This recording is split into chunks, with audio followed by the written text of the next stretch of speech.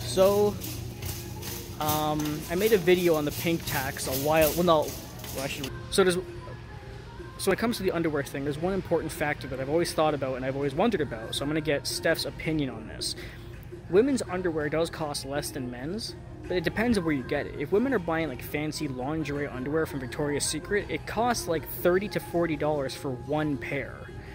There's a reason for this. Now, my personal opinion, it makes sense because the lingerie underwear is made with like fancy lace and stuff, and they have to obviously charge more because that underwear is much harder to make. It's designer, all that kind of stuff. But Steph, what do you think about like underwear at Victoria's Secret costing like thirty or forty dollars?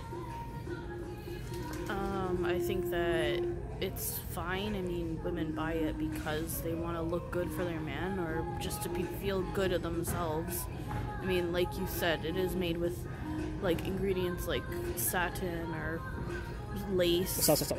Can you repeat and start and say just start from it's made and say material. You said ingredients. So when I turn it to you, It's made from material that are feel good for women.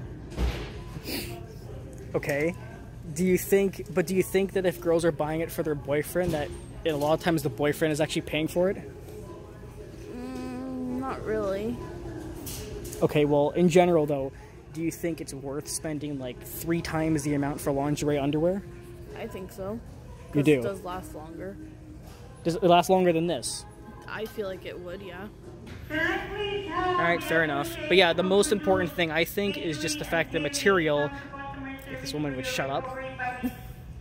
Association of Dairy Bakery and to do with please come to customer service for your recovery budget. Thank you. Anyway, as I was saying, I still think the most important thing to take away from it is the material. Lingerie underwear has a lot of lace and stuff, which is actually a full design that they have to create, and it's obviously harder to thread on a pair of underwear, correct? Mm-hmm. Fair enough? Mm-hmm. Yeah, so.